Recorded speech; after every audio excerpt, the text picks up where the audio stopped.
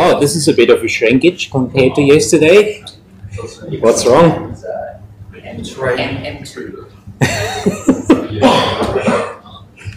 it's already pretty early in the term to be running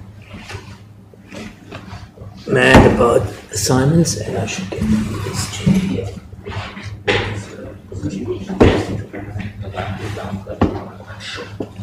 All right. So today I'll talk about virtualization. What is it? Why? How does it work? Why do we need it? And um, what are the modern architecture support mechanisms for it? This will set the scene for talking about how virtualization relates to microkernels later in the term. So today is pretty much not about microkernels, but only about virtualization, hypervisors, and the hardware to support them. All right. So, what is virtualization? Virtualization is about running things in a virtual machine rather than a physical machine. And what's a virtual machine? This is the classic definition from the paper on virtualization back in the 70s. This is again everything conceptual has been invented in the 60s or 70s. Virtualization is no different. It's actually older than microkernels. So the, the classic Popek and Goldberg definition of virtualization is uh, a virtual machine is an efficient, isolated duplicate of a real machine. So there's a number of operational terms in there. Duplicate, this means it's functionally equivalent to the physical machine. So it should behave like it. Obviously, there is a, in theory, a program should not be able to distinguish between running on a virtual or physical machine. In practice, that's unachievable, but you can approximate it. Um, there, there's some differences. For example, the virtual machine may not have the same resources as the physical machine. Um, these days, with the way hardware is being virtualized, that tends not to be an issue. Um, but you definitely see timing differences. And timing, given that the timing is inherently different from physical machine, that means you're always, almost always able to tell. Certainly once you have a device driver that interacts with a, with the real world as devices do, then you can't really completely maintain the virtualization illusion. But you can approximate it pretty well. So the duplicate is one thing, that's the functional requirement, and the isolated one is as important. So the, that's the idea of you can have multiple virtual machines on the same physical machine, and they're isolated from each other. Each thinks it's living in its own universe. Does that sound familiar to you in some way? Sounds like microkernel. No, not really a microkernel. Huh? Multi-core processes. Not necessarily even multi-core. I like a virtual disk. Yeah, uh, exactly. A process has some of these properties, right? Processes are isolated and each has the illusion of operating in its own universe. Of course, that's achieved by some form of virtualization. You can you can only do this with virtual memory. So, but processes um, rely on at least properly isolated processes in that sense rely on virtualization of the memory resource. The, a virtual machine does a more complete job of um, virtualizing things. And efficient, and this is what makes the whole thing useful, usable. If the, the virtual machine was not efficient, then no one would, or hardly anyone would use it. So that means that the virtual machine should execute at a uh, performance that is comparable to the physical machine. You won't typically completely match it, of course, but um, you want to have a reasonably close performance. And in order to achieve that, you basically need to execute most instructions natively. This is sort of an immediate consequence, right?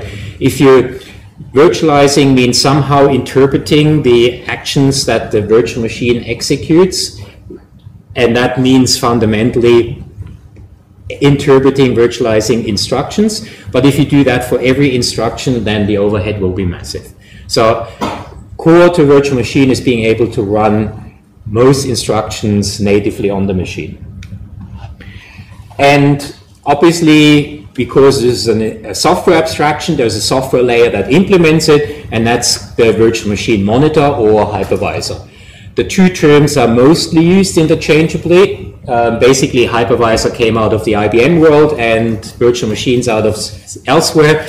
For a long time, IBM had their own terminology for everything different from the rest of the world. That's no longer the case, but the hypervisor term survives. It's a, it's a nice term. Um, we will then see later sort of more modern approaches to virtual machines um, that, that you can, then get to make a distinction between hypervisors and um, virtual machine monitors, certainly in a microkernel context, but I'm not going to talk about that today.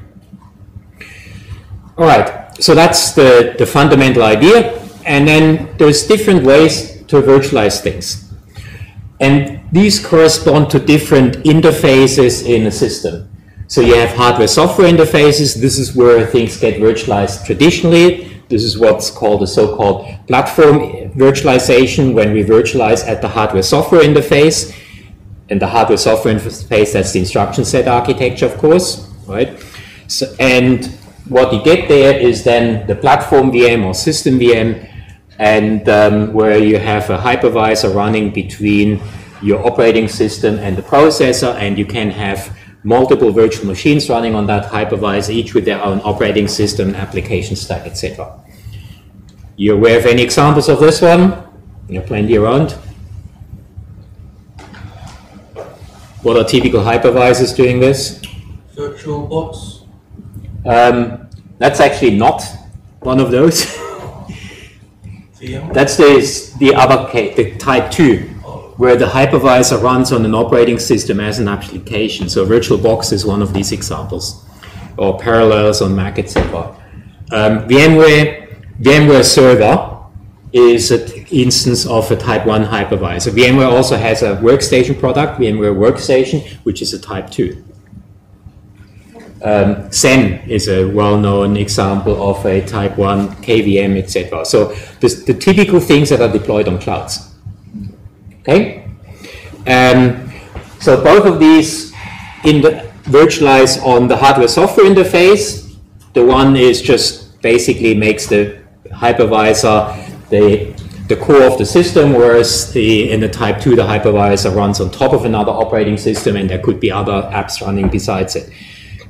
But then there's other places where you can virtualize, or really where you can intercept things.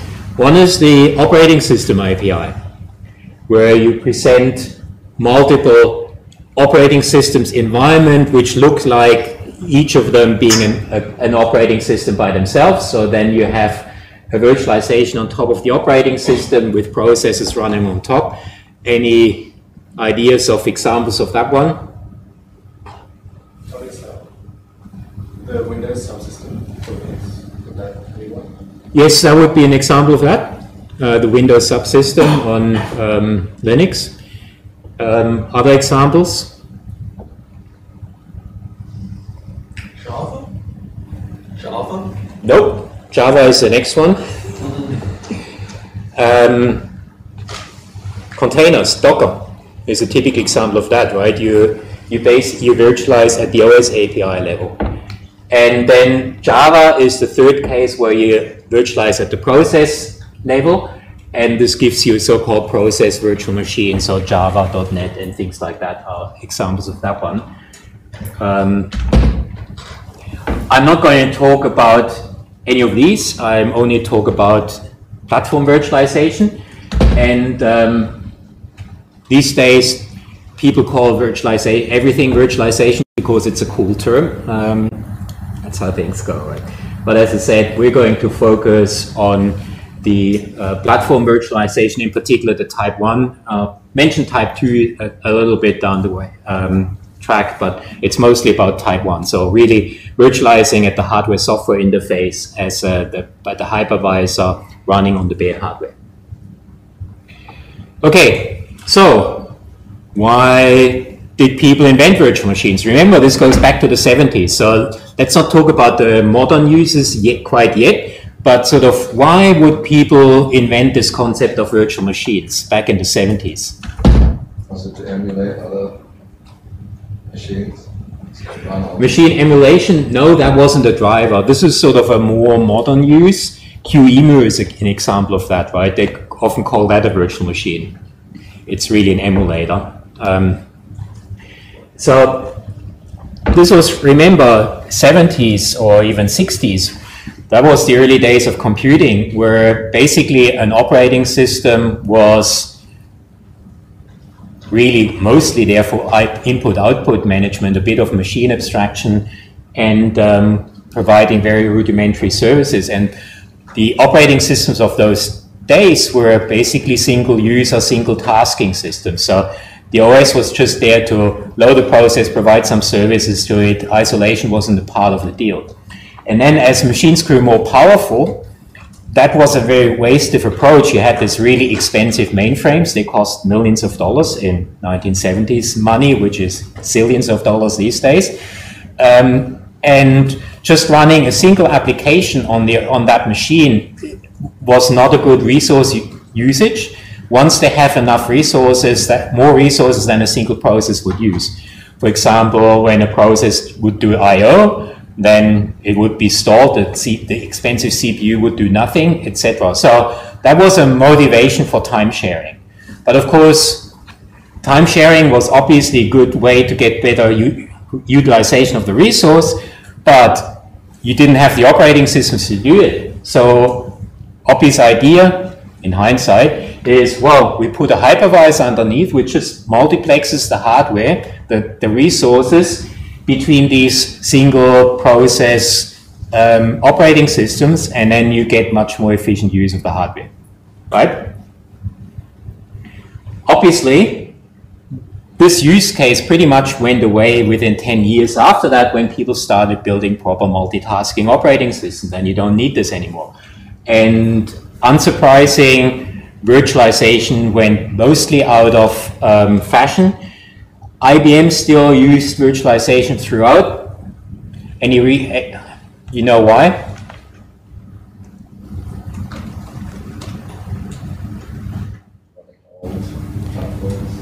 Yeah, IBM supported at these days um, three or four different operating systems.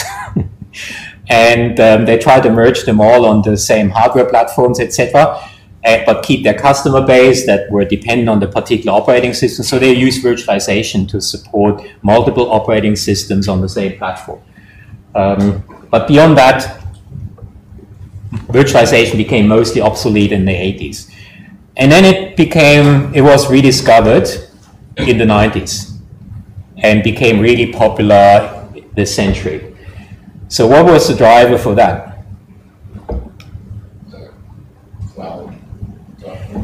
So the, the one was sort of related to why IBM kept using it throughout. People wanted to use multiple operating systems, so typically running both Windows and Linux on the same platform. That's a good use case for a hypervisor. Um, but also, people found interesting reasons for using virtualization, which basically had to do with shortcomings of the operating systems.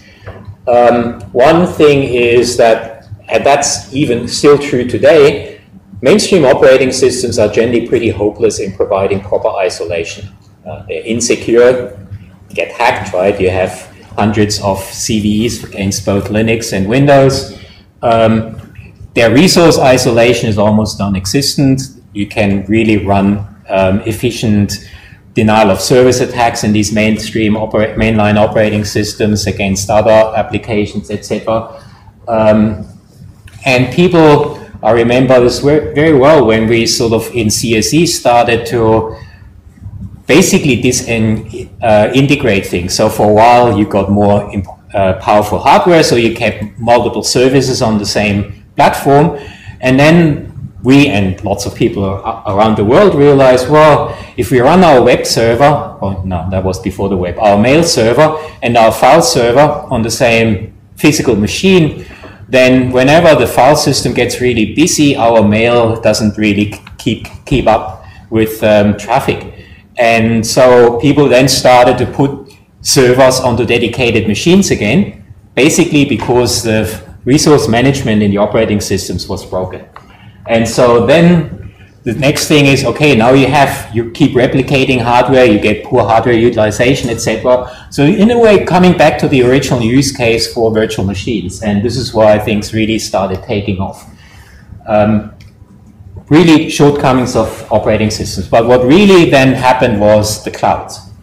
So the driver for clouds was that well, if everyone runs their own computing center, that's very inefficient. In average, you have to provision for maximum usage, but in your average usage is much less than the maximum, so you get in average really poor resource utilization. Everyone needs to have competent admins to um, administer those systems. That's very expensive. It's much easier to do this by scale.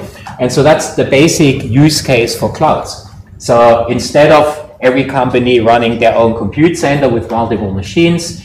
You have a centralized service that provides virtual machines to do the same job, and you get very skilled system management and very good resource utilization and can drive the costs down overall. So that, that's really the drive of the cloud and the modern driver for virtualization.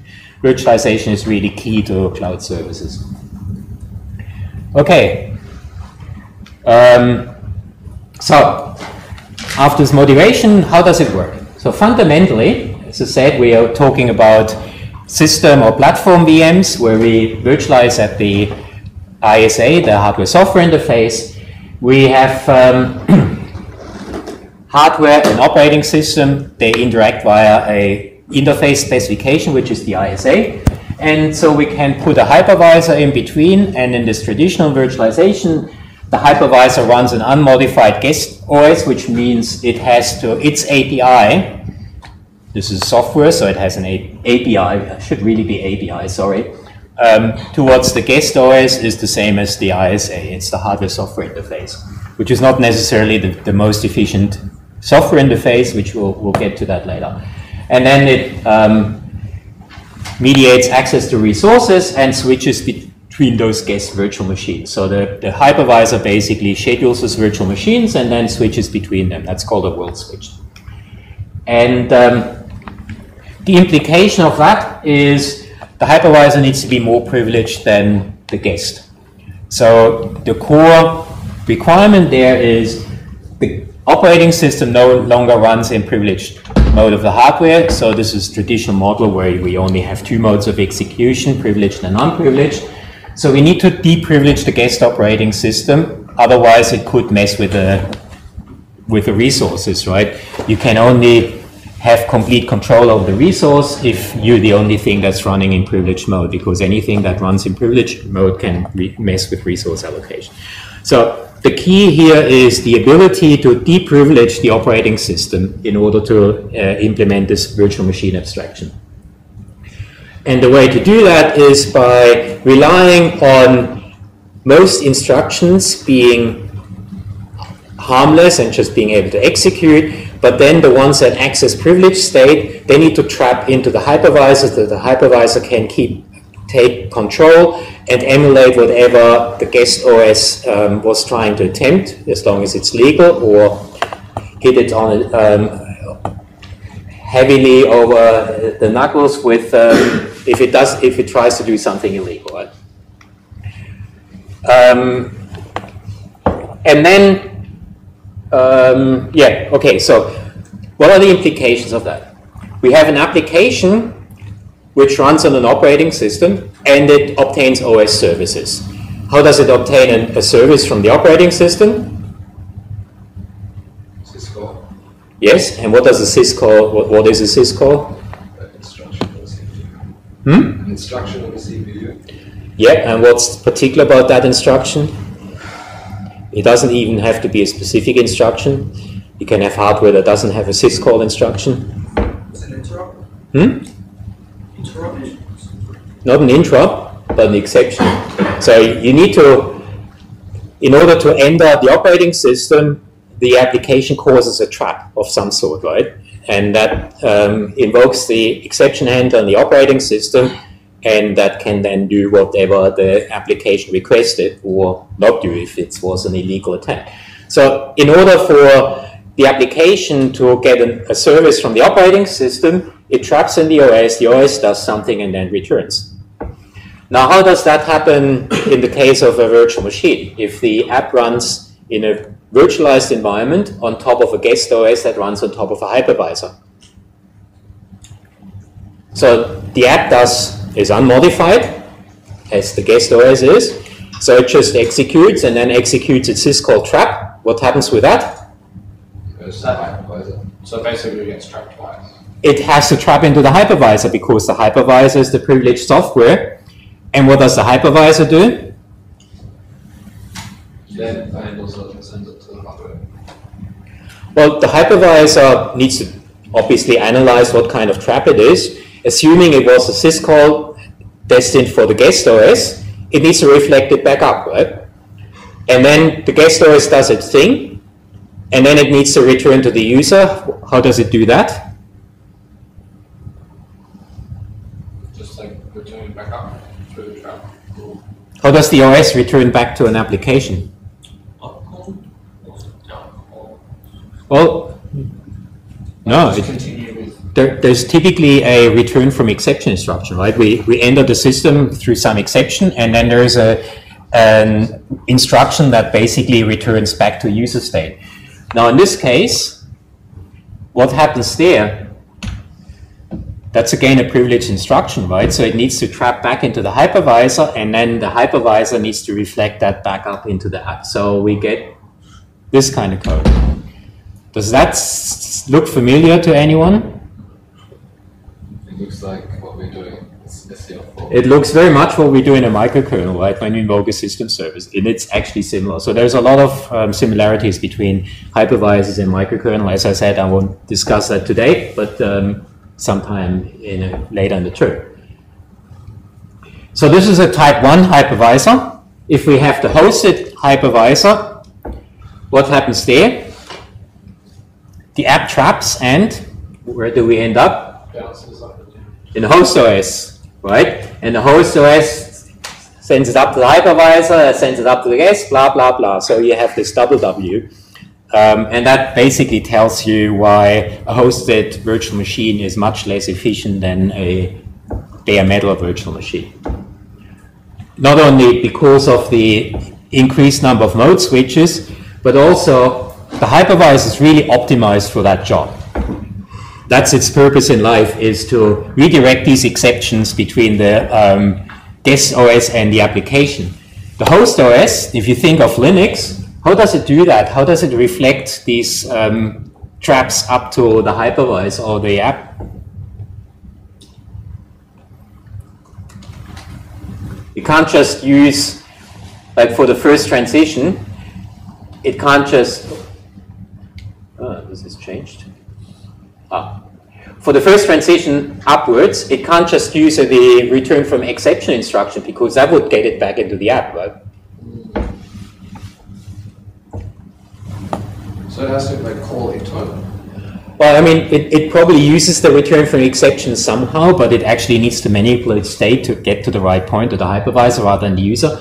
Um, and the hypervisor, but, but what, what are the mechanisms, if you think of Linux, for doing this sort of stuff? For receiving an exception and then handling it somehow at user level? Because this is really what happens here, right? We basically, the hypervisor is now a user level exception handler which needs to be invoked by the guest. What's the mechanism in Linux for doing that? Signals, right? Now, if you compare the cost of signals in Linux to a system call, say, in seL4, you'll find there's easily an order of magnitude in between because this is not something the Linux model or the Unix model or Windows model is optimized for. So this is actually the bigger effect on performance you typically get for, from um, Type 2 hypervisors. Okay, so we get overheads from increased number of mode switches and system calls, but as I argued with the microkernel case, this can be actually kept pretty low um, if, if you know what you're doing. But for the hyper, for the hosted case, that's pretty hopeless. Okay, so this is sort of very high level view of what happens. How does this happen in reality? So how does uh, hypervisor emulate instructions? The, basically, it, as I said, it's all by traps. So these traps can be system calls directed to the guest, but if the kernel, the, op, the guest operating system itself does privileged operations that need to be emulated by the hypervisor, then it's more complex. It's not just a syscall trap, right? Because the guest presumably runs unmodified, it's an unmodified guest binary, and it just does normal operations as it does, for example, um, managing page tables, playing with privileged CPU state, etc. And that traps into the hypervisor. So, for example, here the um, the guest tries to access a privileged register, that's the address space ID register of the CPU, which is part of the MMU. And that's privileged state, so it traps in the hypervisor. And then the hypervisor has an emulation of that state. So it has somewhere in a, a virtual machine control block, which points to the register context of the guest operating system, and then it loads the wherever the emulation value of this ASID register lives, the virtual ASID register, and operates on that, and then returns back to the guest. So this one instruction now blows out into several instructions. Of course, this is only the core. This doesn't include the exception handling, coming in, interpreting what the exception actually is, etc., and then uh, uh, cleaning up state and before returning to the user. So typically, this is not just three instructions. This is dozens of instructions. So emulating each one of these instructions is relatively costly. And this comes back to what I said earlier. The whole thing only works because most of the instructions can just execute natively, and you only have to um, intercept the uh, privileged instructions, the one that deal with privileged machine state, which the hypervisor needs to control fully. So most instructions don't trap, and that that allows us to do efficient virtualization. But the corollary of that is also true that all the critical instructions, the one that deal with privileged state, they must trap. So the most instructions don't trap is a requirement for performance. That the the ones the instructions that deal with privileged state do trap is a requirement for doing this virtualization in the first place. So this is what's called the trap and emulate requirements. Um, we distinguish between privileged instructions and innocu innocuous instructions. So a privileged instruction is one that um, modifies or accesses privileged state and everything else is innocuous instructions. So these are the ones that can just execute natively. And between in the among the privileged instructions, there is also distinguished between instructions that um, actually modify privileged state, which is obviously something that needs to be reserved by the hypervisor, and those which only access privileged states. So the one is called the control um, sensitive, and the others are the behavior sensitive. So the behavior sensitive instruction needs to be virtualized in order to maintain the complete illusion of virtualization. It's not, it, it, it, can't mess with resource allocation, but it can learn things about other virtual machines, etc. So both need to be um, trapping. And the definition of a trap and emulate virtualizable hardware is that all these privileged instructions actually do trap. And it's not enough for them to be no-ops. And this is a, a problem traditionally with Intel architectures that a lot of in privileged instructions, when executed at user level, they just are ignored by the hardware. Of course, if, if that happens, then the hardware can, the, the virtual, the hypervisor doesn't get invoked and you can't really implement this virtual machine abstraction. So also it's important to understand that some instructions are inherently um, sensitive so if you change any of the machine state register, for example, th these are special instructions. They are privileged, they need to trap. But other instructions, for other instructions, it depends on what state they operate. So normal load store operations, load store instructions, in most cases, they're obviously innocuous, but if you try to write to the page table, then it's a privileged operation and it needs to trap. And of course, the reason this is durable is because the page tables are live in privileged state. They are kernel protected, and trying to access them will trap. So that's uh, ensured by that. So this gets us to the division, uh, definition of what's called trap and virtualizable hardware when it, all privileged instructions are, all sensitive instructions are privileged, so they trap. Um, and once, if we have that, then we can just take a unmodified binary, OS binary, and run it on our virtual machine. Any questions up to this point?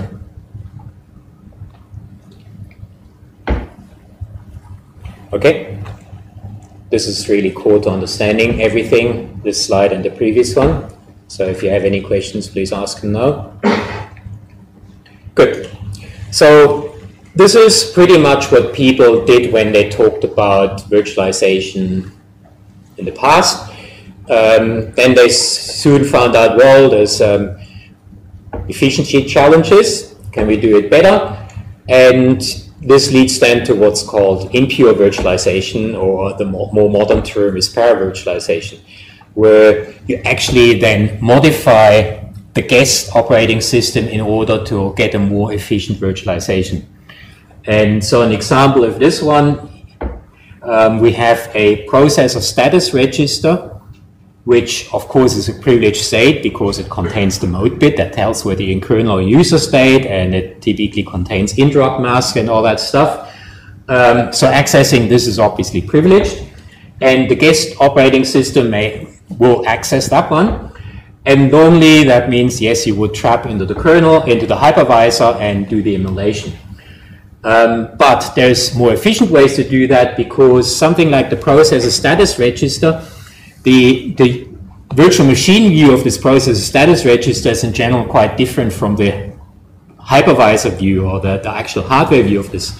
And it's very easy to emulate with a bit of software at user level. So, um, or so, so, one way to, uh, yeah, I, I, was doing it in the wrong order. So we can do it at user level by just saying, okay, we need to we have an emulation of this that is done in a library, say, where the library contains the virtual machine's view of this processor status register. And we can, how do we get to this library? Well, we need to replace this move instruction by something that doesn't trap into hypervisor, so jump to some fix-up code which does the emulation and returns. Or we can replace this um, privileged instruction by an explicit trap just for a single instruction, this wouldn't buy you anything, right? This is whether you do an explicit trap or you trap implicitly by just executing a privileged state, it has more or less the same cost. Uh, it would help if for some reason your machine doesn't privilege this sensitive instruction, in which case that would be the only way to um, do the virtualization.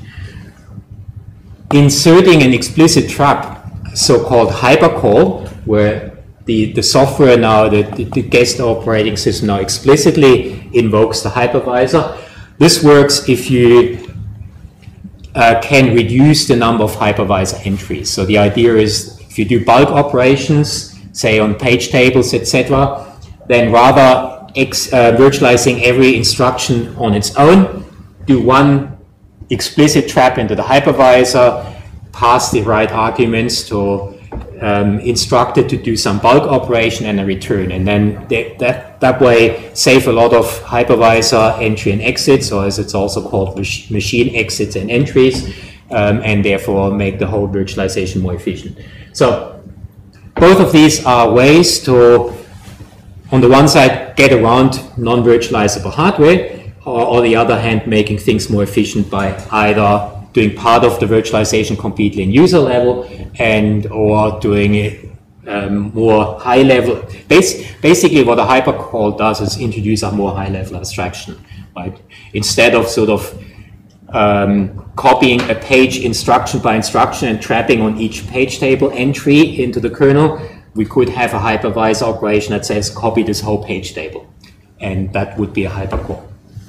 So that's all fine, and it's a clear winner in terms of performance. What's the obvious drawback?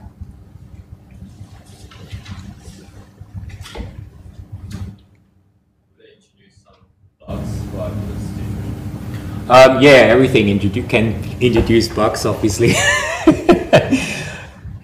uh, no, what's, what's a even more obvious observation from here? How do we get from the left side to the right side?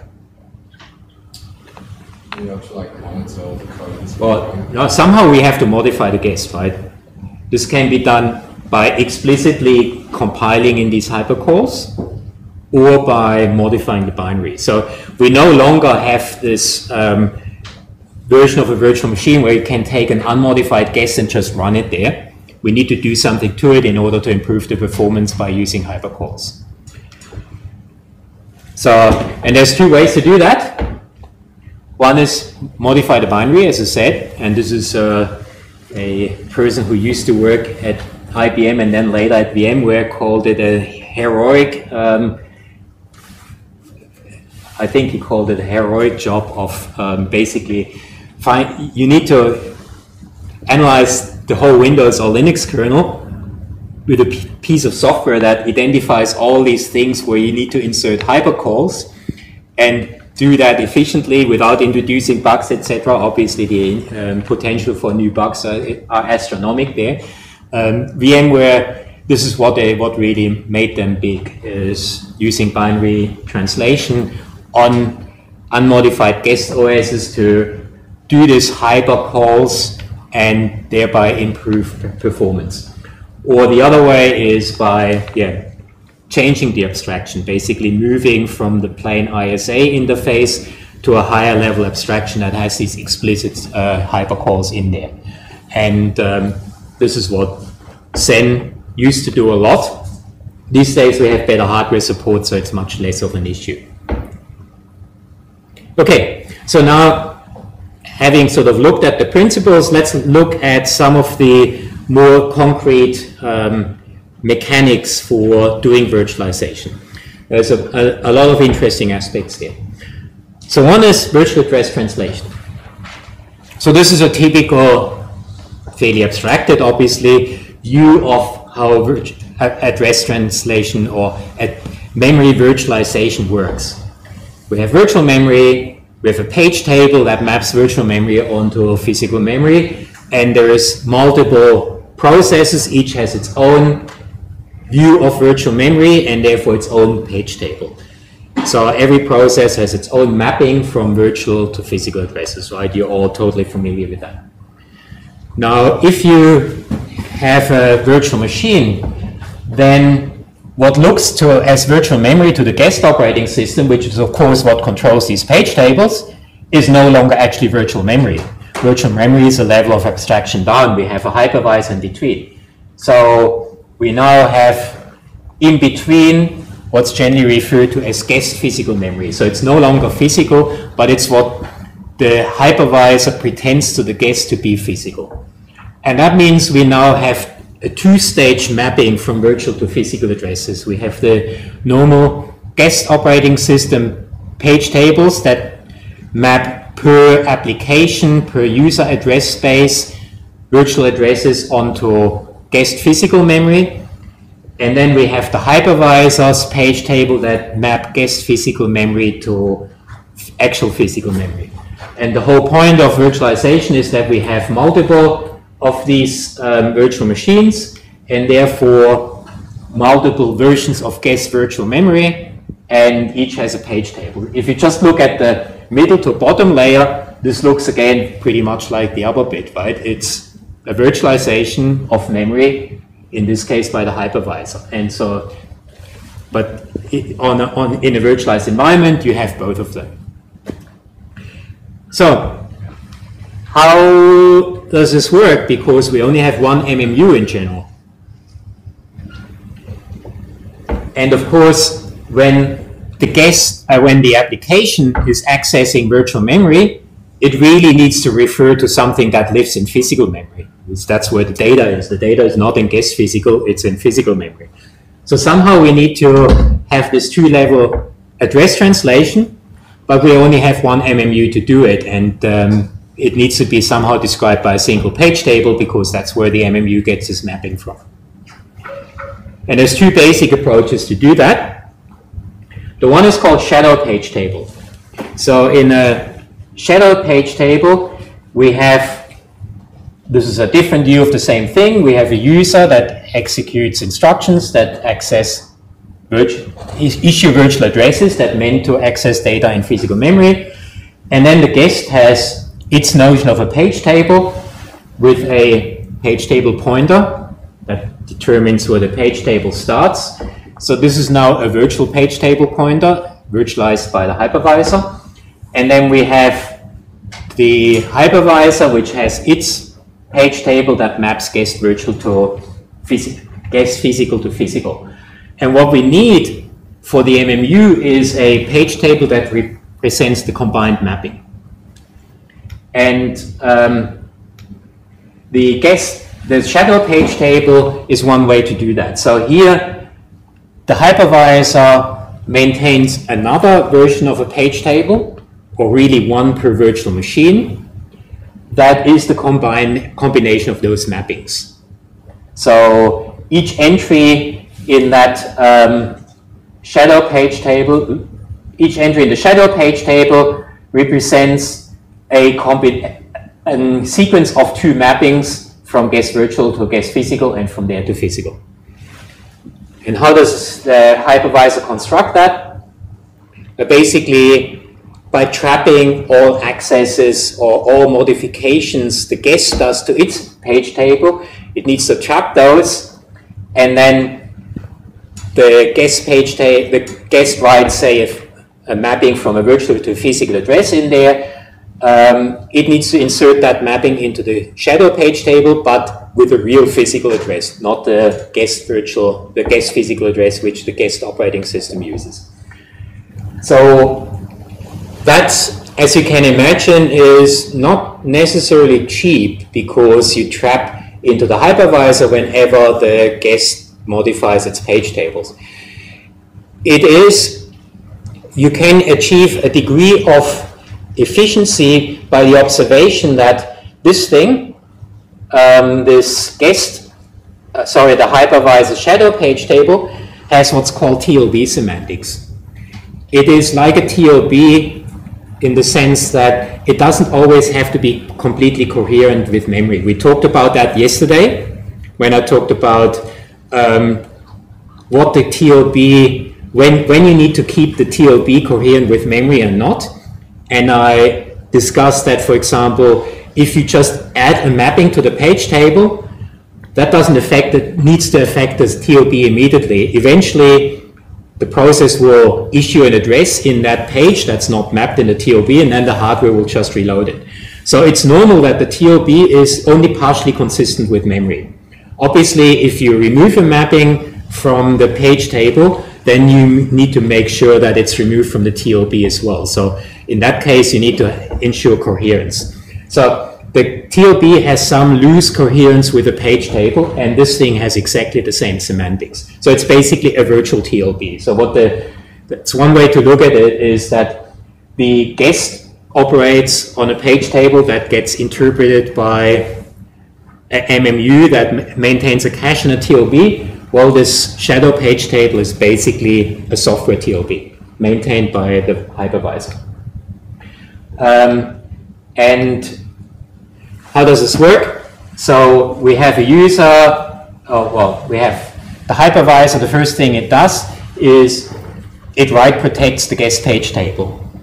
Why? So it, it can intercept attempts by the guest to write to it. So then the guest tries to add a mapping to this page table because it's write protected, that traps in the hypervisor. The hypervisor does the emulation, updates the shadow page table. Well, it doesn't actually need to update it at this stage, and this is where the TLB semantics comes in. It doesn't keep have to keep the shadow page table coherent with the user page table at this point. Because like in the page table versus TLB, the user only or the guest only added a mapping to the page table. So our Hypervisor page table, which as I said is basically a virtual TLB, doesn't need to be updated at this stage. But what the hypervisor does, it needs to mark this particular guest page table as dirty so it can fix it up later. And then it lets returns back to the guest OS, and the guest can add more mappings, etc., keep on um, modifying that page table, and then eventually it's done and wants to return to the user, which of course means it traps into the hypervisor again, and now the hypervisor needs to do cleanup and can synchronize its page table, the software TLB, with the user's view of the page table at that point. So it updates the shadow page table, write protects the um, guest page table again, marks it as clean, and then returns back to the guest and returns to the user. Okay? So you can see how this can be a significant efficiency gain when the guest does multiple updates to a page table, for example, when creating a new process. Um, if the um, guest does um, invalidates a mapping, then of course we need to make sure that anything is um, that the, the, the, software TLB or the virtual TLB is updated as soon as um, this mapping can be used. So again, it invalidates a mapping, traps into the hypervisor, same process before, marks it dirty. It can still invalidate more mappings. Again, the hypervisor hasn't yet a need to update the virtual page table and then eventually returns. It does a flush TLB. Now the TLB flush, that's the signal to the hypervisor that we now need to ensure coherence, right? This is basically why does the guest flush the TLB? Because it knows it's incoherent with the page table. It needs to force coherence by flushing the TLB. And that is now the signal for the hypervisor. Ah, okay. Now we need to make sure that this uh, shadow page table is coherent with the, our virtual page table, with a, um, with a guest page table. And so it does the TLB flush as well, of course, and then returns. Okay? Um, and then, sorry, we started five minutes later, so I'll keep it going for a couple more minutes. Um, the alternative version of this is to actually expose the real page table to the guest. So in this case here, we have again the guest page table and the hypervisor page table. And we have the actual page table, which lives in the hypervisor. Um, but we let the guest actually see the real page table. But that means that it's okay, we don't need to uh, maintain a separate page table, but we then need to intercept whenever the guest reads or writes from the page table.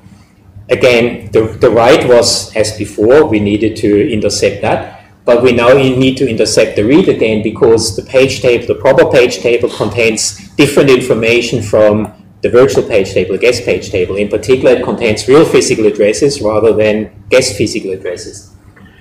Um, and so that means, yes, this is potentially less efficient because we now need to intercept not only writes but also reads to the guest page table. But the advantage is this can be wrapped up in, um, in stubs, in wrappers, where the um, basically the guest needs to follow the convention that rather than accessing the page table directly with load and store instructions, it does it through some wrapper functions which do the translation and thereby regain performance. And this is what um, Linux does, for example, um, where the, the, the guest now needs to know that its page table is virtualized and you hide that into in these wrappers. So this is a, a, another case of para-virtualization, changing the hardware-software interface by not operating, having the guest not operate directly on the page table with load and store instructions, but using these wrappers provided by the system. And Linux does this throughout these days. And this is how, what Xen originally used. Okay, this is a good point to have a break.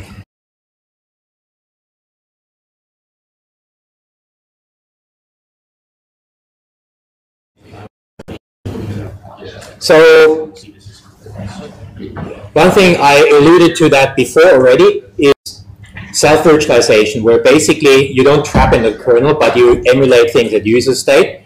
And um, uh, an example is the process status register, which is something that, that's just a simple word and that really provides a interface between the, the software and the hardware in sense of telling the hardware what kind of operations it should be doing or not. So in particular, it contains the processor mode, but also interrupt mask, etc.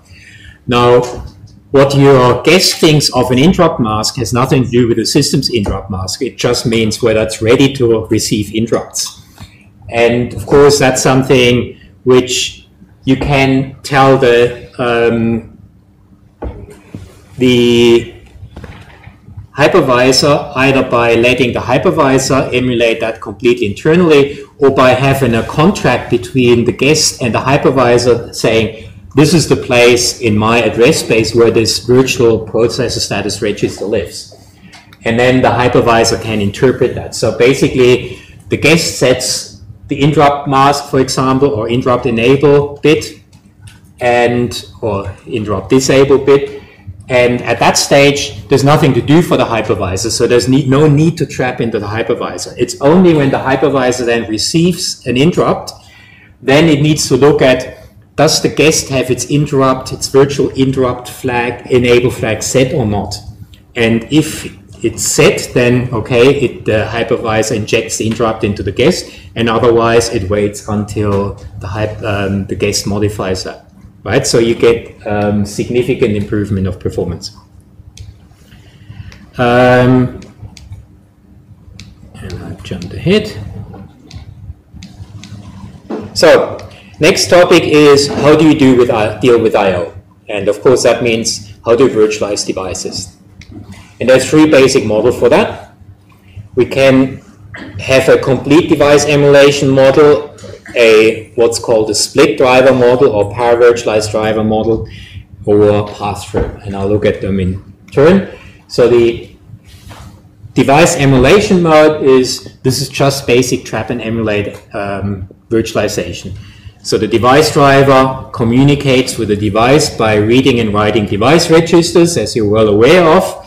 And if we do the complete emulation here, that, that means, okay, we intercept each of these um, device register accesses. How do we do that?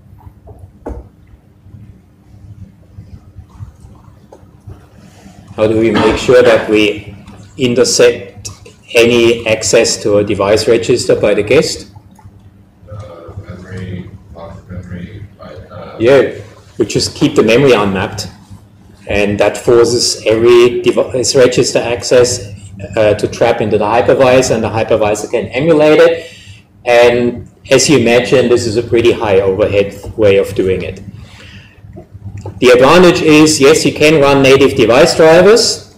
You can just this, in principle, from a pure functional point of view, this sort of means, okay, you can use an unmodified device driver binary, which is, of course, part of having an unmodified guest binary.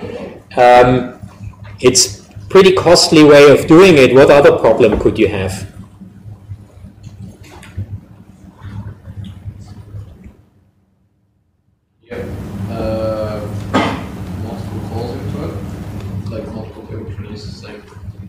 Um, no, I mean, you basically get for every device register, load or store, you get a trap, yeah? That's the cost argument. But there's actually a reason why functionally this may not actually work. Why is that? That's to do with timing. It's timing, yeah, of course.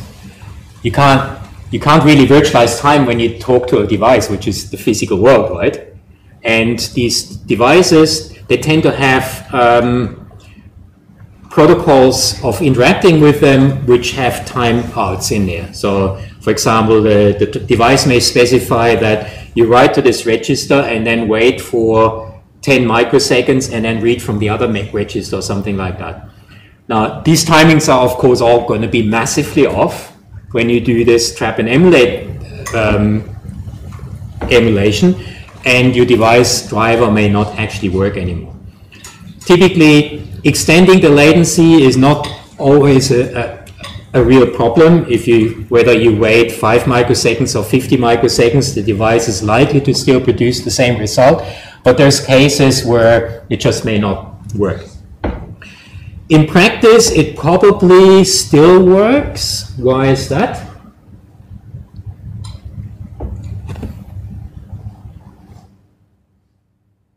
At least potentially.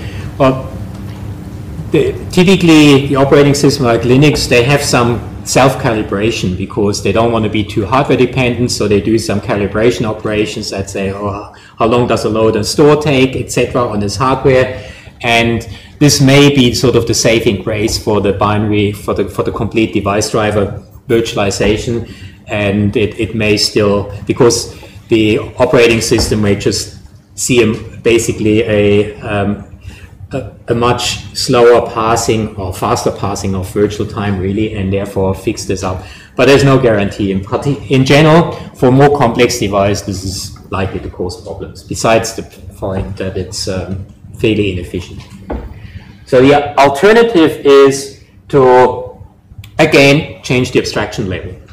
So we now have the proper device driver in the virtual machine and we have a virtual device driver in the guest operating system, and they communicate via a different protocol rather than sort of a byte by byte device register protocol. They would have a more high level protocol where, say, if you talk, if you have a network device, then your virtual network interface would be a much more high level interface that says, okay, just hand me a pointer to a packet and I'll get it out to the device rather than accessing individual device registers. And of course, that's, that makes it much more efficient. So it's a, just another case of paravirtualization where we use hypercalls rather than explicit um, byte or word-wise accesses and thereby massively reduce the overhead. Drawback is, uh, and, and adva another advantage is that the virtual driver can be pretty simple because the we can have a much more high level, much simpler protocol between the virtual device driver and the virtual device, so that simplifies the device driver. The drawback is, of course, we have to write a new device driver, which breaks binary compatibility. It's less of an issue these days because operating systems these days are used to loading device drivers dynamically. They have some discovery protocol and then select the right device driver and load it. Um, so you can have a discovery protocol that says this is a virtualized device and here's the virtual device driver to do it, use it. Um, the drawback is that while we have operating systems like Windows and Linux that have a huge wealth of device drivers for any device under the sun, and we need to replicate all that in the virtual in the hypervisor. Now that's a huge cost, clearly. With the binary, with the complete um, virtualization, that wasn't an issue, except it doesn't necessarily work. So here somehow we have to bite the bullet of getting all these device drivers ported into the hypervisor. Any idea how, how to mitigate that? Generic device drivers? Second? Just sort of generic device drivers for a type of device? Well, that's for the virtual device driver, yes, but the, the, the, hypervisor needs to interface to the actual device, so it, it needs the real device driver.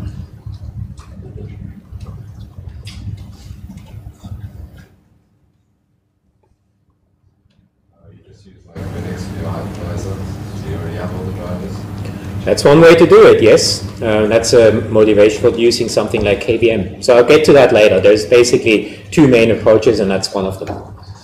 Um, so we also talk about this as a paravirtualized driver. And yes, Linux now has this standardized interface to virtual devices called VirtIO. And that basically means, okay, you just write a VirtIO driver. VirtIO is basically an interface spec for virtual drivers, and then on the Linux side, you're covered. Still leaves you to, with the problem that the hypervisor needs to provide these devices. So one way to get around this is you, you, somehow reuse the existing operating system device drivers, and that basically means you need to reuse the existing operating system. And one way to do it is what Xen uses calls their DOM0 or driver operating system, where you have a spatial virtual machine which is only used for providing device drivers.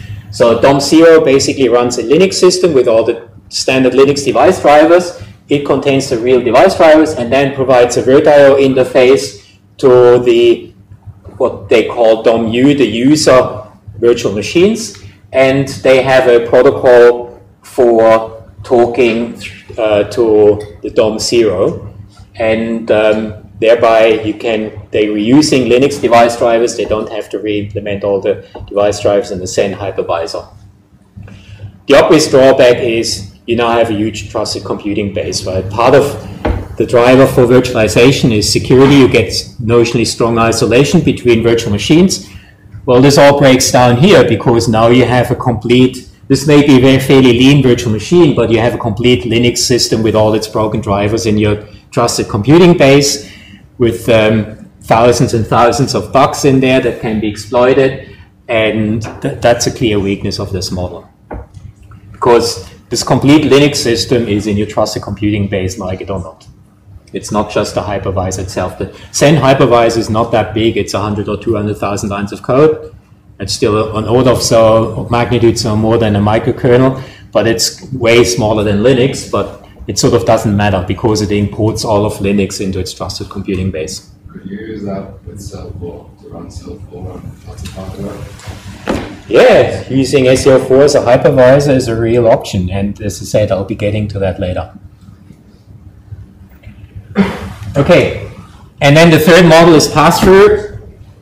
This means you actually leave the device driver in the guest operating system and give it direct access to the device. So basically you need to map the um, device memory directly into the guest operating system.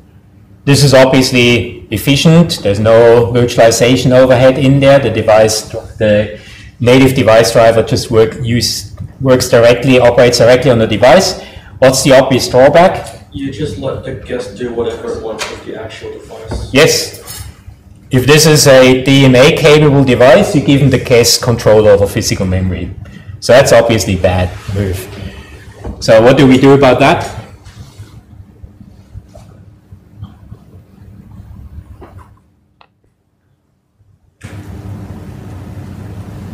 We somehow have to limit access to physical memory of the device.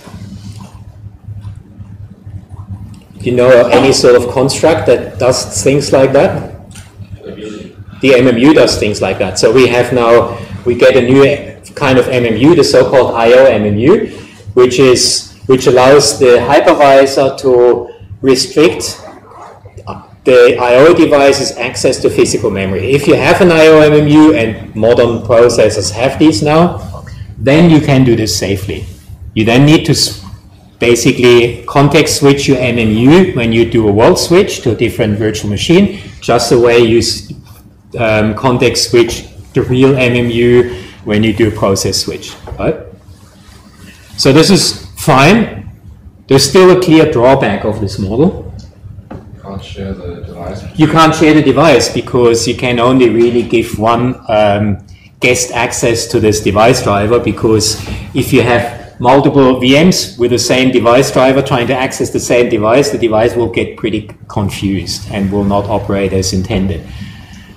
And this is where there's new hardware support now in uh, the form of what's called self virtualizing devices. So the devices actually understand virtual machines and have what's the, the standard here is called single root IO virtualization or SR-IOV, which where the actual device, it's typically used for network cards, provides several virtual device interfaces. Obviously, this is a limited resource. There are not going to be hundreds of those, maybe um, half a dozen or a dozen or so, so there's still a resource management issue, but it does allow to share such a device between different virtual machines. Okay, so this is the first specific hardware support we encountered that manufacturers have um, provided. So it's not surprising given that virtualization has really taken off in the last 10, 15 years that hardware vendors now sort of coming to the party and providing improved support for this because it's really important for the overall business model.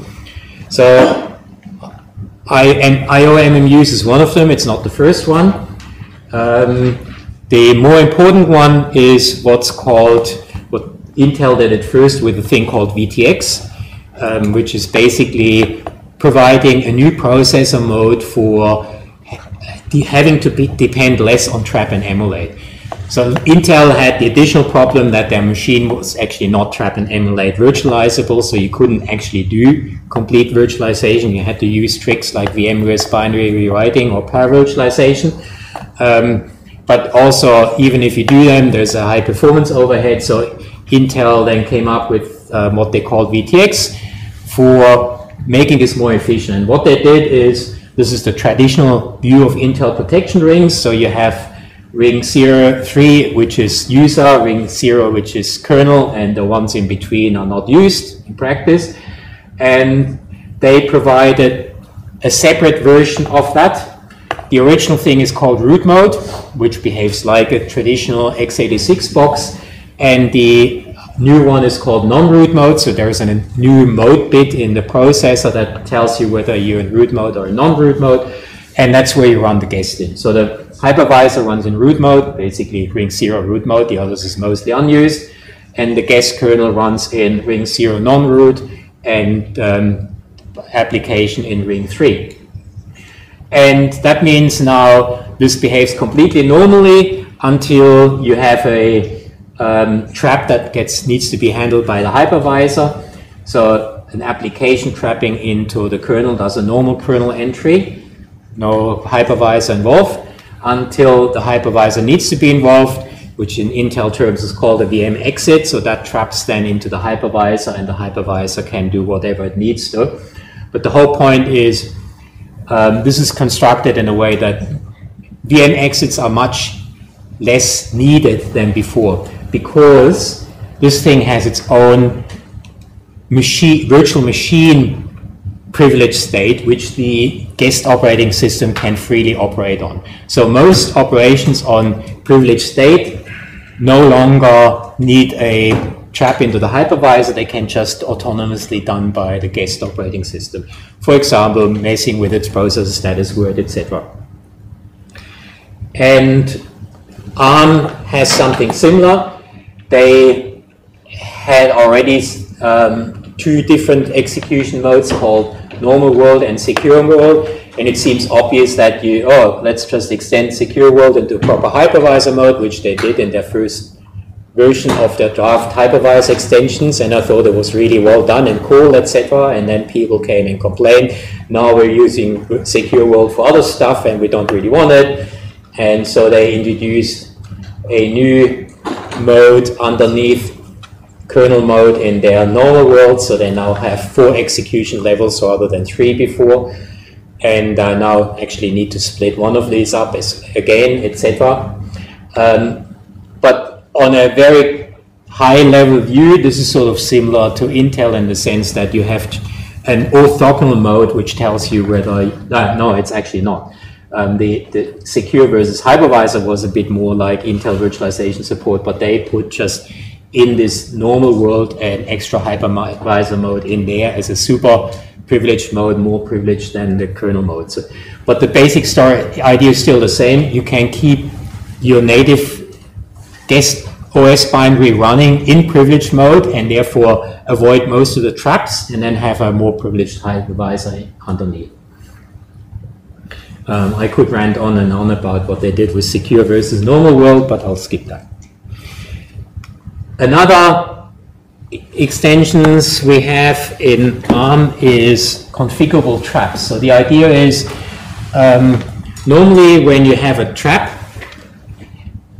you trap into most privileged mode, right? With a hypervisor now, there's a question, well, should a particular trap go to, all the way to the hypervisor or just to the guest operating system? And their extension if you don't have that, you would have to send everything to the hypervisor because the hypervisor may need to intercept it.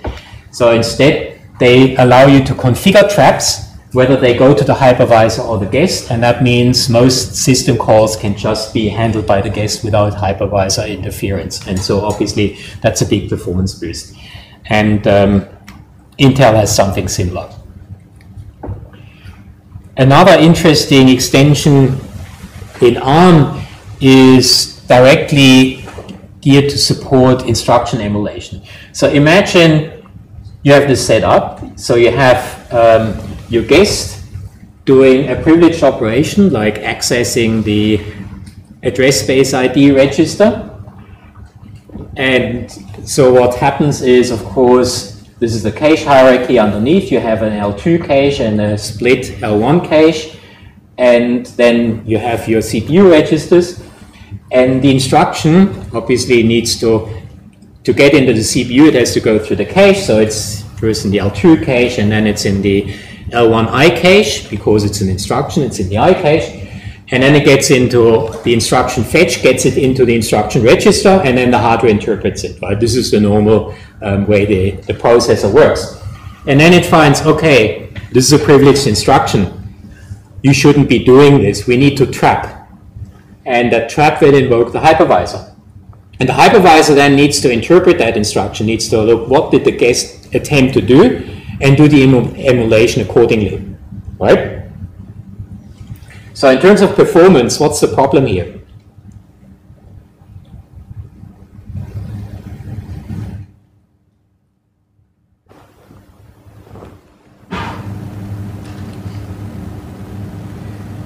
In order to operate on that instruction, the hypervisor needs to actually read it, right? It has to have it somewhere and look at different fields, in particular opcode and stuff like that. Where does it need to be for the hypervisor to be able to do that? OS. Hmm? Guest OS. No, no. Um, I'm just talking about the hardware view here, right? As The in guest. the L2 cache. Huh? As in, in the L2 cache. Well, it, it needs to be in a general purpose register because that's what the instructions operate on. Okay? So how does it get into, say, this R2 register? It goes up through the data caches. It goes up through the data caches. It needs to uh, go through the data cache, yes. So this is weird. Your instruction is actually in a CPU register. It's the, the instruction register. It's also in the L1 cache, but it still will trigger a compulsory cache miss because in order to access it as data, it needs to lo be loaded into a general purpose register, and that means it needs to be loaded from the L1 D cache. So it's already cached, it's already in register, it just happens to be the wrong register and the wrong cache. So we get a, if you think about completely unnecessary cache miss, just to put this thing into the right register. So this means this is obviously inefficient, and sort of so what um, ARM does is it will actually make this available in a general purpose register without forcing it to go through the D cache and cause a miss, and also partially decoded already. So it will extract the opcode, etc. So simplifying the job of the operating system of the hypervisor. So we avoid the I1 miss. We simplify the decode in, of the instruction, and the hypervisor can just do the emulation, which is typically pretty straightforward. So that's a potential performance uh, gain for the case where you actually have to do instruction emulation, trap and emulate instruction emulation. Uh, x86 doesn't have an equivalent. It would be too difficult to do. In, in ARM has a much more regular instruction set, and so it's really easy to decide which ones you want to do, etc. The next one is that's a really important one is support for page tables. I explained shadow page table and um, direct access to guest access to the proper page table before. You obviously got away understanding this is pretty can be pretty inefficient. Can we do that more efficient? And this is really one of the bottlenecks of, or used to be one of the bottlenecks of um, virtualization. So the hardware manufacturers understood that, and again, Intel was first, but ARM has this introduced it right from the beginning with their virtualization architecture, a direct support for two levels of page tables. So it now has two page table pointers in the ISA. The one is the hypervisor page table pointer, and then the guest page table pointer is no longer a virtual pointer, it is an actual hardware supported register, which the guest can set to a point to its page table. And then the hardware walker can just walk the original page table. So no need to modify or shadow the guest page tables. They're directly exposed to hardware. And when we have a TLB miss, the hardware page table walker will go to the first, to the guest page table register, walk the page table, then go to the um, second, to the hypervisor page table register, walk the page table, construct the combined mapping from guest virtual to actual physical and insert that into the TLB.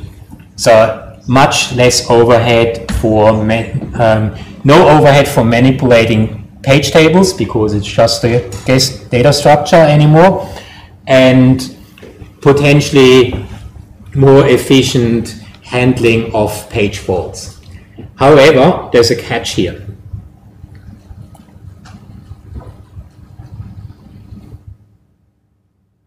Where's the catch? Intel calls this EPTs, by the way, extended page tables. Think about the worst case behavior in terms of memory accesses. So before, we just had one page table, which the hardware walks when there's a TLB miss. For sake of argument, just think go for 32-bit address space where we have a two-level page table. So the hardware walker goes to the page directory, does a load.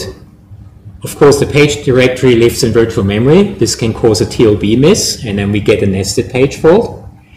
And then eventually it will get that datum and then go to the leaf page table, which can is also in virtual memory, can also trigger another TLB miss and another page table walk.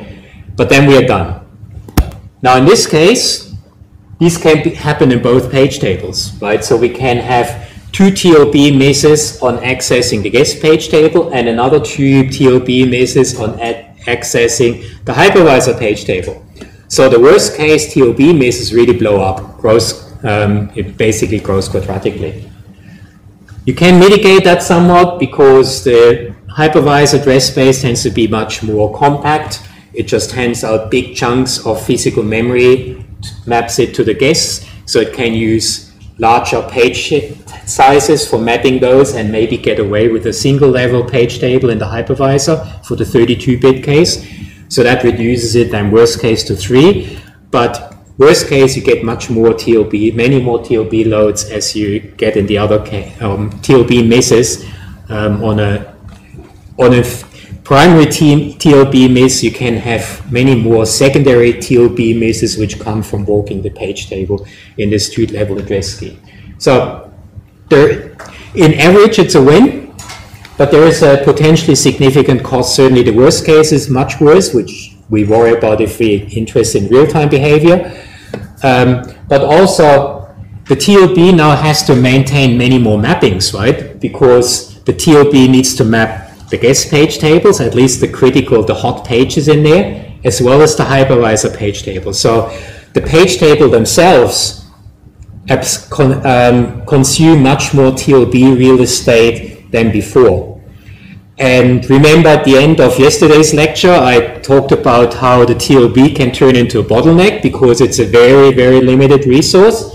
This clearly makes it worse. And so these cases which are real world use cases where you have 50% TLB refill overhead, so half the processor time going just in TLB refills, they typically result on off that one. So, which means that there's cases where this two-stage address translation, which in average is a winner, can actually be a, a real source of overhead. Okay, and then um, final ARM virtualization extension is virtual interrupts. So interrupts are again something where the hypervisor gets involved because the interrupt gets raised into the highest, um, most privileged, it traps into the most privileged software layer, which is your hypervisor, and the hypervisor then has to hand it off to the guest, and the guest eventually has to acknowledge it, which needs another trap into the hypervisor to acknowledge the interrupt and then um, get back to the guest. So ARM has this virtual interrupt controller where basically it splits the interrupt controller into what's what they call the CPU interface and the virtual CPU interface and the and a, a distributor. So the idea is you have a distributor that where the interrupt gets tr- triggered that determines which interface to, the, uh, to send it to. And um, initially it gets sent to the virtual, to the CPU interface, which taps into the hypervisor, and then the hypervisor re-triggers it in the guest by activating this virtual CPU interface, which is the guest view of the CPU interface for the device uh, for interrupts. But then the guest can acknowledge the interrupt directly in this virtual CPU interface, and that goes directly back to the distributor. So we, per interrupt, we halve the number of hypervisor um, invocations by only requiring the hypervisor when the interrupt is triggered, but not when it's acknowledged. So that's um, that's again, it's not revolutionary, but it's better than nothing. Would be nice to have to be able to redirect interrupts both ways, um, directly to the guest, and that might make sense, right? Certain interrupts you may want, as long as the guest is operating, they should just go to the guest. Um, they haven't got that yet. So here's the new hardware. Yeah. Um, and in, in, in, x86, for some technical reasons, that's not an issue. And then, oh, there's one more. There's the IOMMU, which I already discussed, right? The, um, in ARM, it's called the system MMU. In x86 or Intel at least. It's no, in Intel it's called VT-d. AMD calls it an IOMMU. Um, they're all the same thing. So that's basic idea is that you can allow the guest direct access to the device, um, including DMA capable devices, provided we have a, a way to restrict physical memory access to the DMA and this is what your IOMMU does. Um, and yeah, uh, the, the key difference here is that ARM has done it fairly cleanly in the sense that the IOMMU looks like an I, a normal MMU. It has the same page table format. So you can actually use the same page tables, for example, which makes sense, right? Your IO device should not access more physical memory than the guest has access to. So you can just use the same page table. Um, the guest may want to restrict it further. Intel has a completely different page table format. It's the usual hacking, in, hacking Intel thing, right? They, um, whenever they do something, they put one more complication on their already overly complicated hardware, etc. They do that for a living. Uh, the problem with ARM is theoretically they have a clean model, but that's only a reference design because ARM does the CPU core IP and the system IP is up to their licensees and everyone does their own thing. And so the nice, beautiful model breaks down at that point. And sort of um, people like Samsung, for example, are notorious by having system MMUs that protect only a subset of devices. And um, for example, for us, it means they're almost useless because we can't really do like a network driver on top of the microkernel using the system MMU. Um, RISC-V also has virtualization extensions. They're at the moment in draft spec. The present version is 0.6, unless it has changed recently. And uh, the model is similar to Intel. So they have, traditionally they have, or before they had user mode, supervisor mode, and machine mode, whereas machine mode is basically um, for firmware. Normally, operating system runs in supervisor mode, user mode um, for applications, and they put another orthogonal mode besides it, not unlike x86, where you have now a virtual user mode and a virtual supervisor mode. And your guest operating system runs in virtual supervisor mode and the hypervisor runs in the proper supervisor mode. And it also has the ability to redirect traps and two-stage address um, translation, etc., and in injection of virtual interrupts. So pretty much what the others have, except it's not quite stable yet. It's in draft. And so, yeah, trap redirection means you if the virtual supervisor mode generates a trap, you can that normally goes to machine mode. You can redirect it to supervisor mode and all that stuff.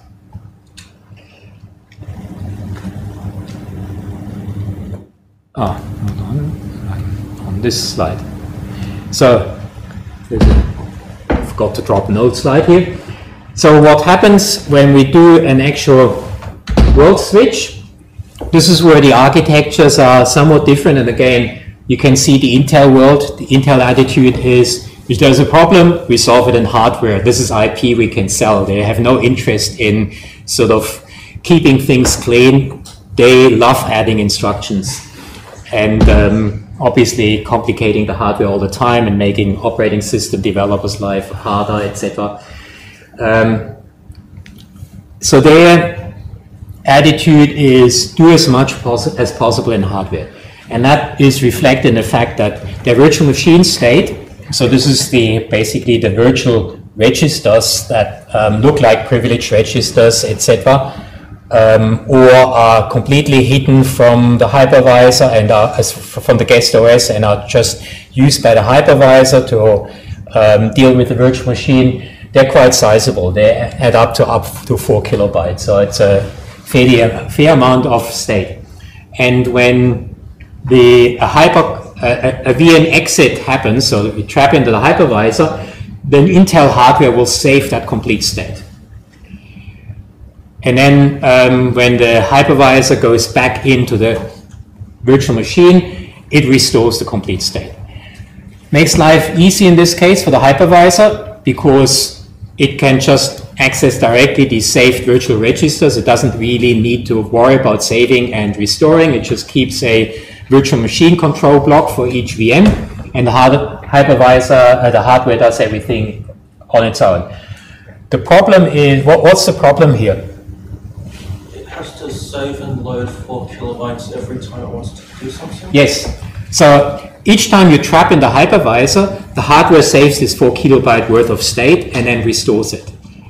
And you may not actually need that because you obviously need to save and restore the complete virtual machine context when you do a world switch.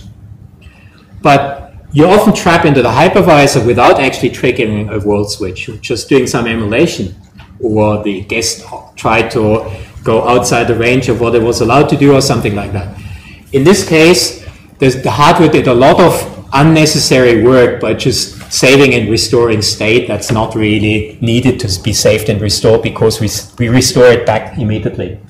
So ARM does, is a more is more minimalistic here.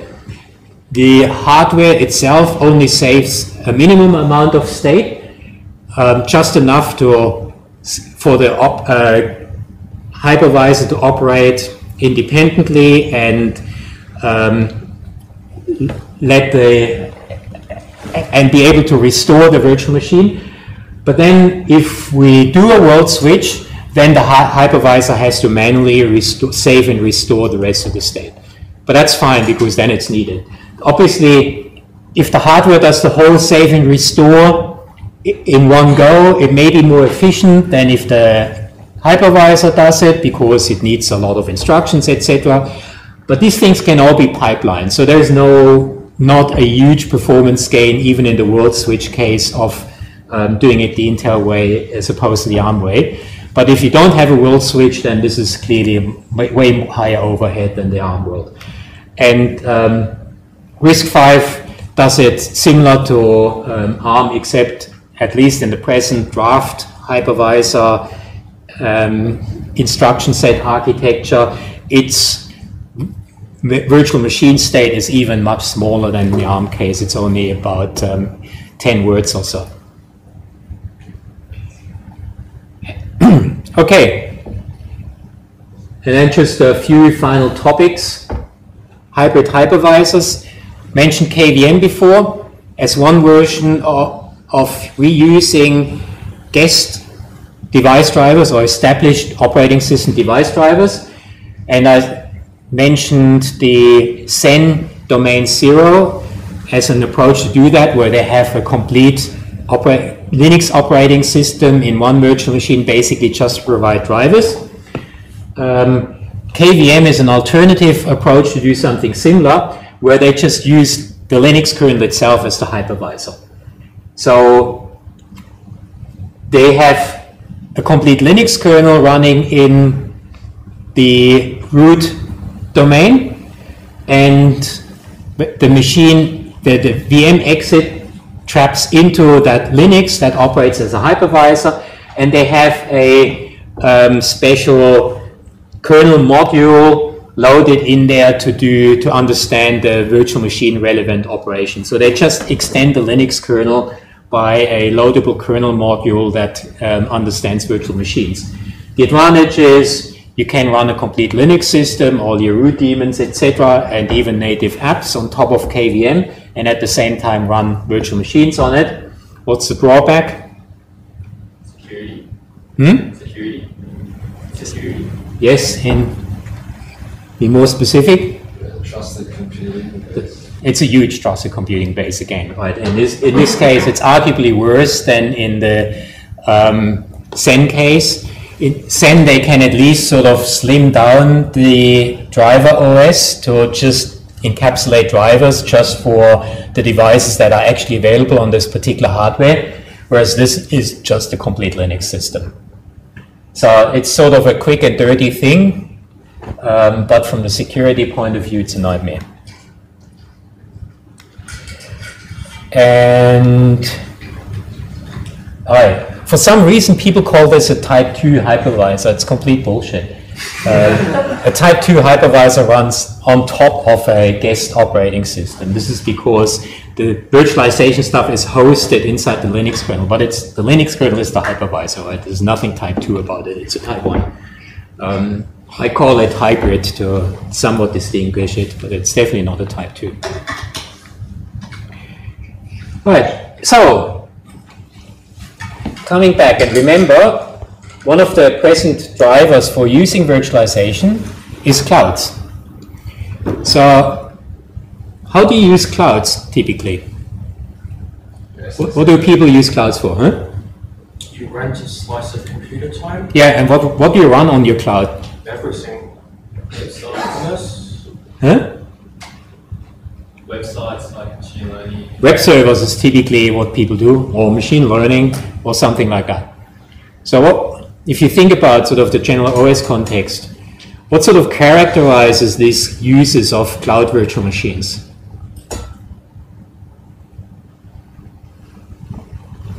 Networking.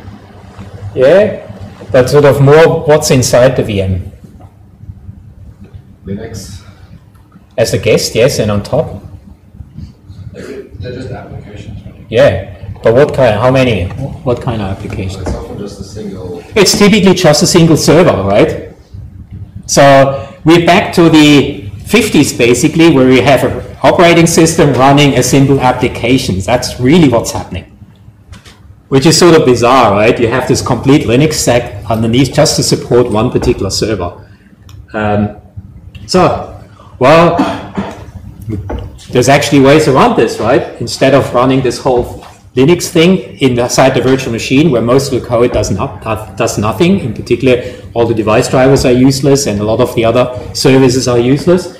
Um, why not slim down the operating system to something that really just provides the services?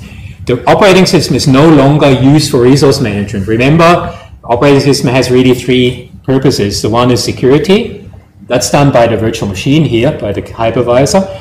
One is resource management. It's done by the hypervisor. There's no resources to manage because all of the virtual machine's resources are there just to support the application. And it provides some services, and that's all that's left. Now, you don't need to have a full-blown operating system to provide that services. So what people then do is they just co-locate it. They use a very stripped down operating system that just provides services, no resource management, no security, because that's all not needed. And then you don't even need to run it at a different protection mode anymore. You can just run everything in kernel mode because there's no security implications because all you do is support one particular app. Now, this sounds very much like why people started using virtual machines in the 60s. Single user OS, supporting one application at a time, and then having hypervisor switching between them. So history goes in circles sometimes. These things are called library operating systems, and because people need to write papers and pretend they have invented new abstractions, there's other names for the same thing again. They call them unikernels and non-zero kernels or whatever null kernels. Um, interesting proliferation of meaningless terminology. There are really library operating system, which is an apt term because it, the operating system is just now a library that's linked against the application.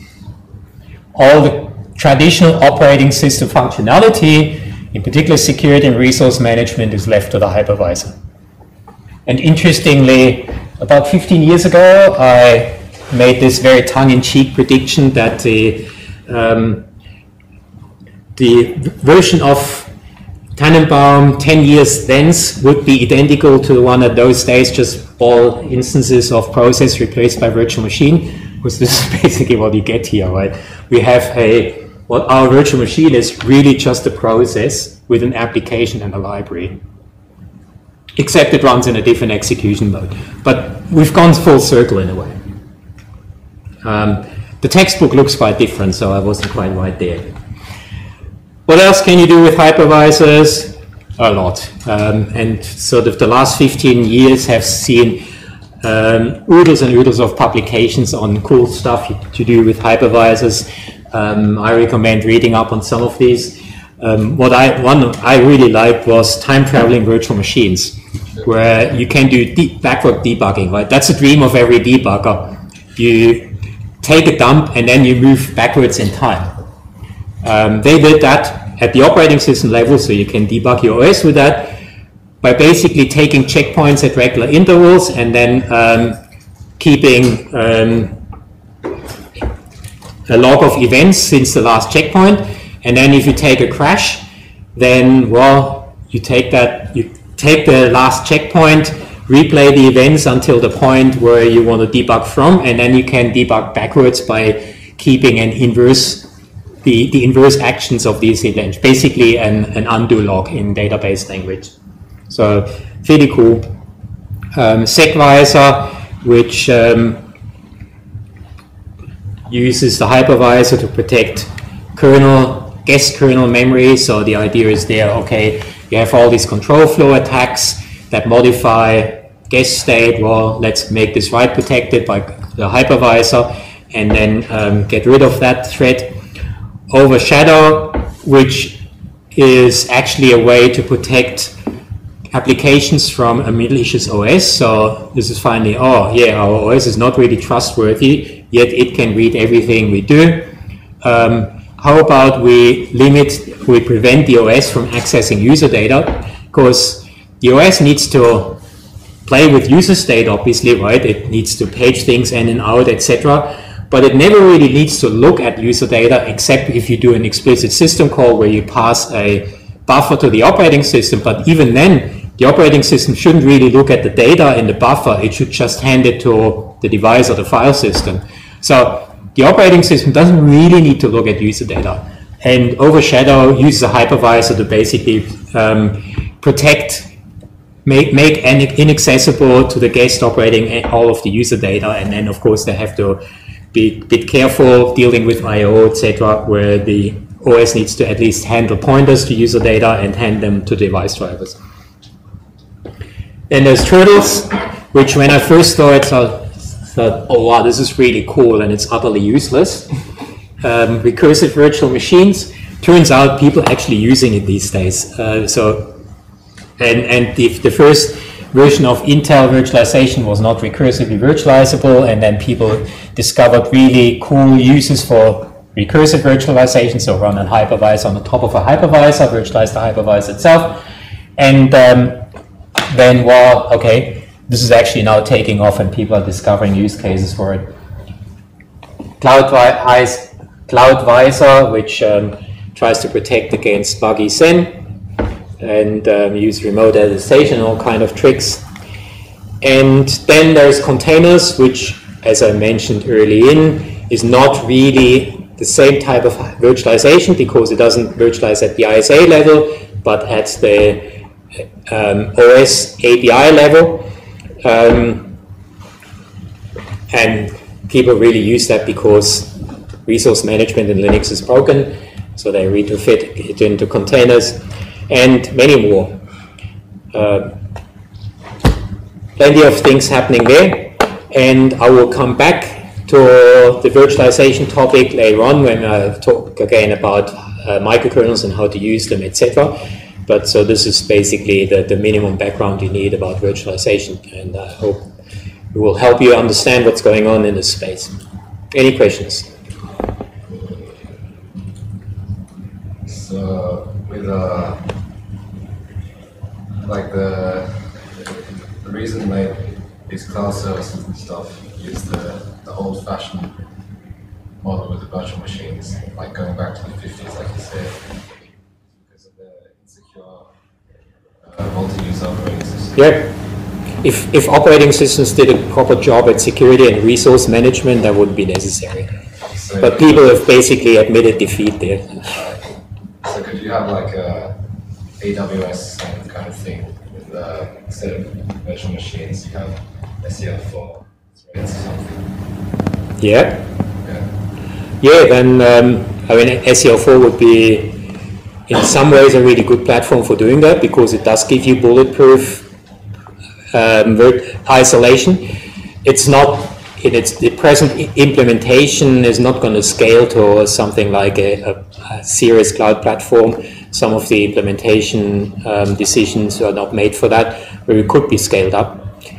The main thing is, in order to deploy a hypervisor as on a real-world cloud platform, you need a lot of management software. So when the Xen people did Xen, um, they spent most of their time not writing the Xen hypervisor, but providing all the management software you need to uh, deploy it in a real cloud environment. So that's where the real cost comes in. If you wanted to do that with seL4, you would have to look for ways to reuse the, the Xen infrastructure, for example, which wouldn't be a bad thing, right? You'd have at least a secure hypervisor underneath. And Any other questions? All right, can call it a day then.